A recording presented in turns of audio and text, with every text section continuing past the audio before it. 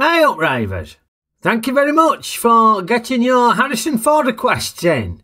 Yeah, we had all sorts of requests come in. Some Indiana Joneses, Blade Runners, Frantics, Air Force One were popular, and they all went in the pot, and we spun the wheel, and it came back with Witness. Hmm.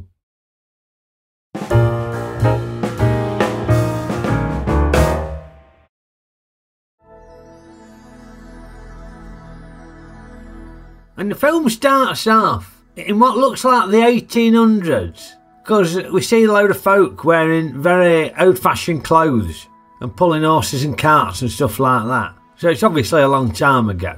And they're all wearing black, so my guess is that they're off to a funeral. Hang on! 1984! What's going on here? Well, it turns out these folk are Amish.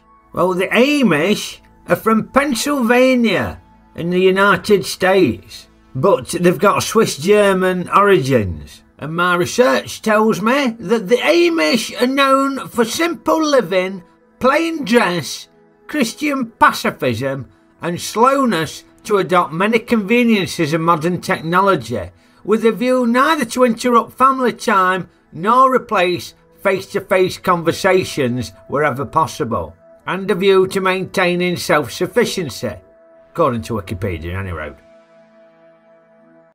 Now, yes, it turns out they have been at a funeral of Jacob Lapp, and after all the proceedings, the surviving widow uh, and her eight year old son, they have to catch a train in order to visit a sister. And Karl from Die is obviously trying to ingratiate his son with Rachel, who's the uh, the mum, by giving a kid a parting present to play with on the train. Now, very clever touch this because it illustrates how excited and contented the young Amish lad will be playing with what essentially is an inanimate piece of shit. I mean, if I'd have tried giving something like that to either of my kids when they were eight, they'd have told me to do one in no uncertain terms, I reckon. Anyway, Rachel and her lad Samuel take the train to visit her sister Oh, look, there's Karl showing off look, trying to look all manly and impress Rachel. He looks very happy, the lad, doesn't he? My grandkids would be on bloody iPads now. You wouldn't get them to look out the window. They'd just be engrossed in the sodding iPad. Uh, yeah, anyway, yeah, they're on this train to Philadelphia where they have to get a connecting train to Baltimore. And while Samuel's gone to the bog for a poo, he witnesses a brutal murder. And this scene is packed with tension. Very simple premise, but crack it's nerve wracking. First up, I don't get why he didn't lock the bog in the first place. Why was he doing a poo without the bog locked? That's by the by. But as this murderer's checking the cubicles, you're thinking, oh, how's he going to get out of this one? How's he going to get out of it? But it pays to be ickle at times, doesn't it?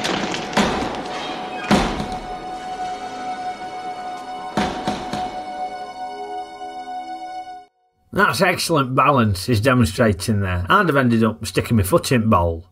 Now that's Danny Glover that, and he's a right nasty piece of work in this film. We're used to him being a cuddly character, ain't we? Like Roger Murtaugh in uh, The Lethal Weapons. But yeah, nasty piece of work in this year's. Anyway, the cops come, and inevitably they have to question Samuel, because he's the only witness to murder. And we meet John Book, played by Harrison Ford, yes. Good honest name, John Book, isn't it? John and Book. Obviously likes to do things by the book. Does John Book? Tells us he's an honest copper, doesn't it? And that's going to be important as we find out later on. But yeah, once they've got a description at murderers, he needs to get Samuel to give him a positive identification. Hey! Is this man Sam? Is this him? Yeah, I'm not sure that's by the book, is it? Slamming a known criminal's mush six inches away from an eight year old witness. Nah, I don't think that's right, John. You can't do that these days. Now, after that long shot failed, it reverts back to flicking through mugshots down at the PlayStation. And I was disappointed, to be honest, that they didn't do like a, a photo fit scene. I was like them photo fit scenes that they do in films. You know, like they used to have on Crime Watch or Police 5, where Shaw Taylor described the criminal and then they pop a photo fit up. That's what he looked like wearing the glasses. Long hair, probably in his 20s. Is that a bloke? Looks like a woman. No wonder they never caught him. Can you put a name to that face? Can't do a name, but I swear I saw him in the Sweeney the other day. Any road, they can't do a photo fit because if they did a photo fit, we wouldn't have another really gripping scene here. Because when Book gets sidetracked by a phone call, Samuel just starts aimlessly wandering round the police station, but he stumbles across a photo.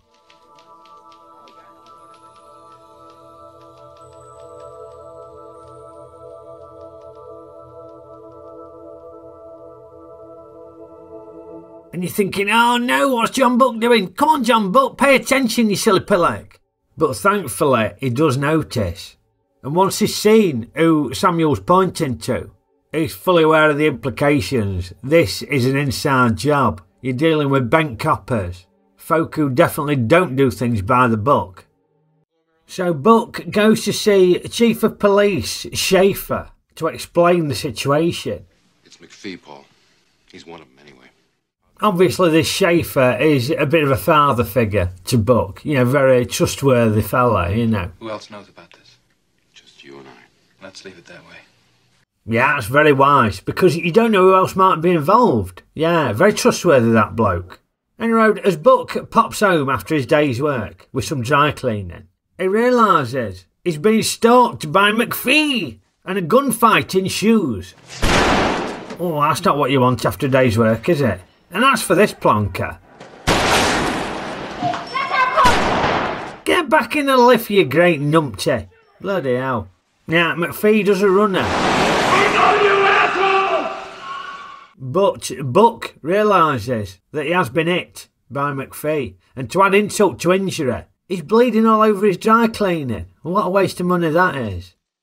Now, Book twigs on that Schaefer ain't trustworthy at all. He's obviously he's in on it uh, and he's a shit.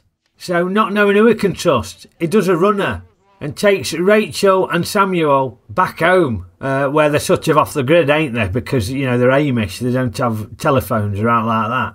Now he's just planning on dropping him back. Will you be coming back to take Samuel to trial? There isn't going to be any trial. But as he's driving off, he succumbs to his wounds and knackers a very ornate bird table. So, not want to risk hospital where he could get found by the baddies, the Amish community take him in and perform some emergency procedures and help him to recuperate from his injuries. Now, what we get here is your classic fish out of water scenario, where Book tries to blend in with the ways of the Amish. With mixed results, it has to be said. For example, when faced with conflict, the Amish will react peacefully turn the other cheek, so to speak, whereas Book might resort to violence. Yeah, I don't think that's by the book, is it? I think you'd get hauled in for a disciplinary for doing that, wouldn't you? Mind you, we did deserve it, didn't he? I mean, as well as being an arsehole, that's a criminal waste of ice cream, is that? Although he's already had the flake. There's no flake there, is there? Also, some of his cultural references fall flat. Honey, that's great coffee. It's a. It's a joke. It's a commercial.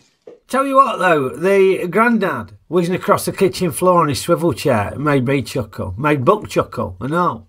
I mean, it seems a little bit childish to me. Seems some inconsistencies in their behaviour, of the Amish.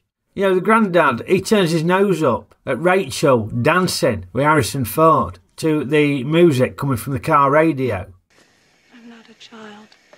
But you're acting like one. I'll be the judge of that. But I would argue he's being childish, whizzing across the kitchen floor on his swivel chair.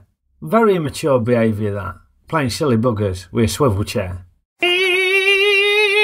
But on the flip side, Book does prove his scent to be useful. Yeah, it gets involved on the farm, does some milking, and he manages the birdhouse, what he drove into and knackered. Looks very proficient with them carpentry tools as Harrison Ford, doesn't he? But here's a fun fact for you if you didn't know. He used to be a carpenter. Yeah, very big on his carpentry, uh, Harrison Ford. Although I'm not sure if the Amish would approve of them power tools what he's using there. They don't need any of them things. There's a great scene where they're knocking a barn up using hand powered stuff.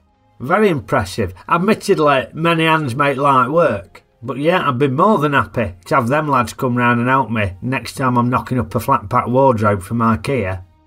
So this ain't your run of the mill action cop film, this.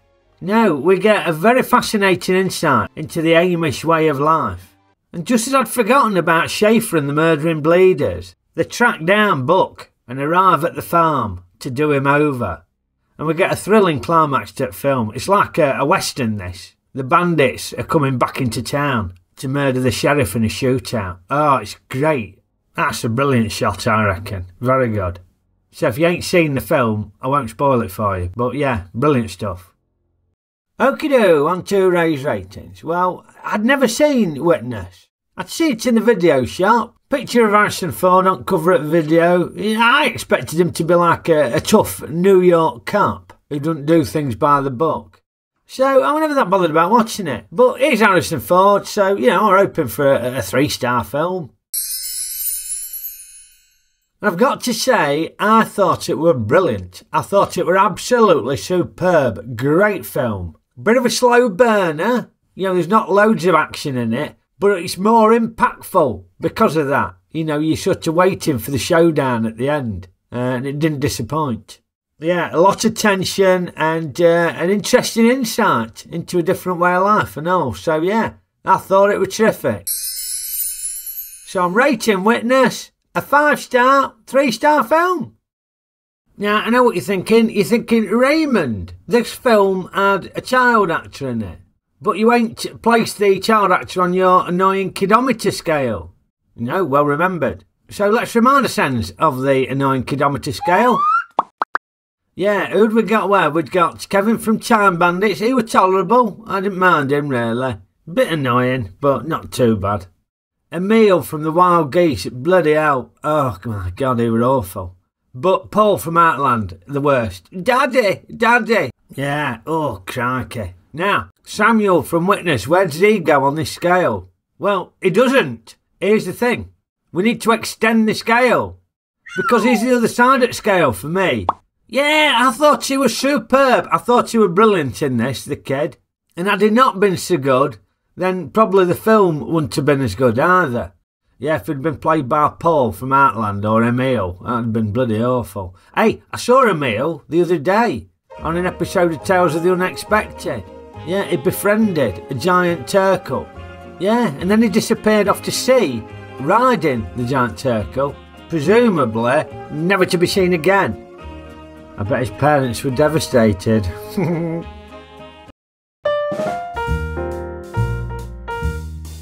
Well, I hope you enjoyed my review of Witness Rayvers. And if you did, poke the old like button for me. Give it a good old poke. Maybe you could use some rustic Amish farming tools to give it a poke. You know, if you got them. Don't use any Black & Decker stuff, you'll knock your computer.